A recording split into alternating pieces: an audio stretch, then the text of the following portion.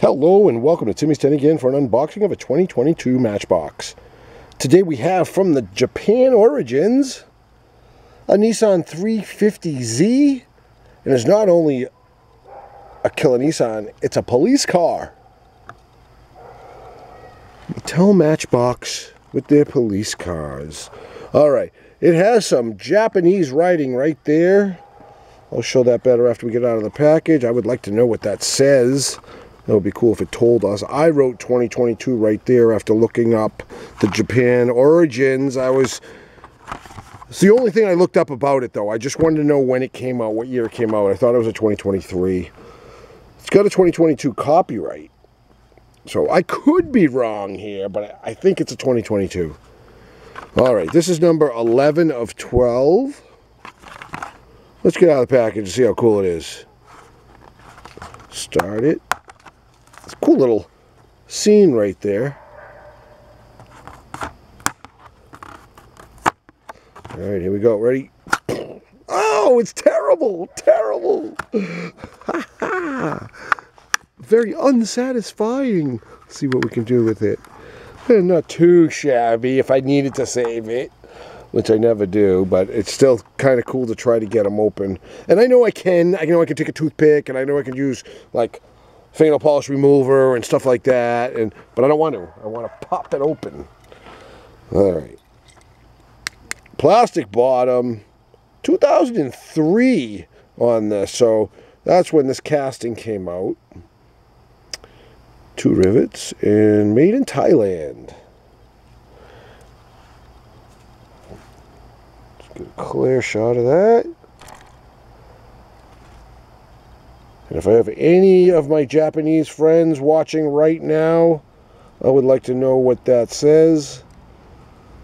My brother-in-law Jimmy lives in Japan, but I don't talk to him. I haven't communicated to him in many, many moons. He took off on my wife's family. He's my wife's brother. And, um, I don't know, he just moved to Japan.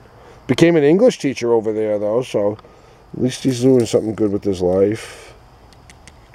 Ooh, all the windows are up and slightly tinted.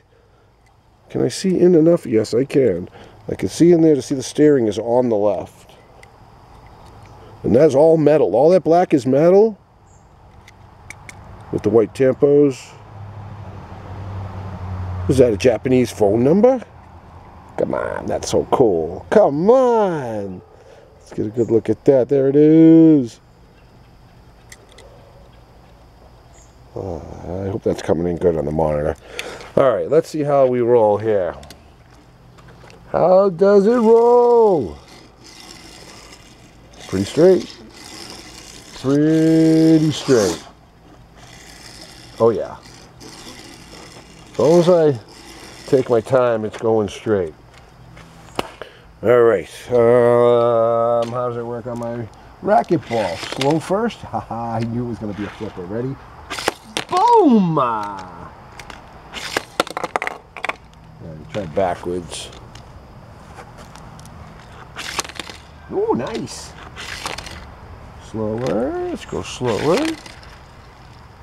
Oh, almost to the other ball. There we go. There we go. All right, how about backwards? Squeezing the ball hard. Boom! it's like a top.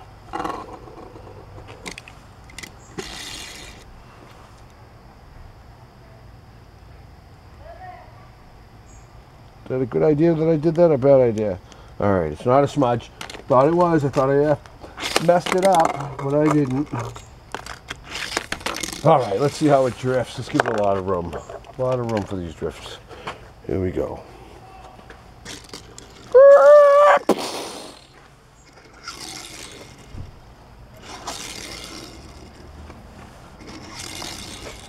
Nice.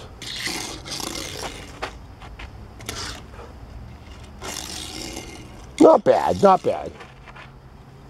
What could a police car chase? Do we have any other Japanese cars out here?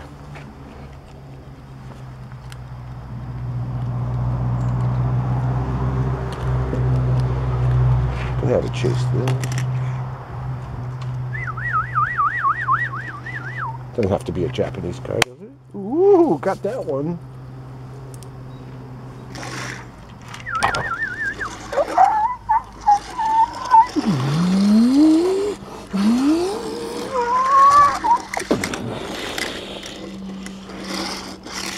Uh, we gotta do a a pit maneuver. Boom! All right. Thank you, everybody that tuned in and checked this out with me. I always gotta do something with my police cars. I'm definitely gonna have a police chase right after this video. Thanks for watching. Please subscribe.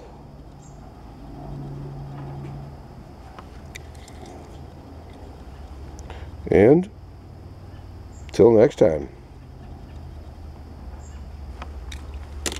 G10 out.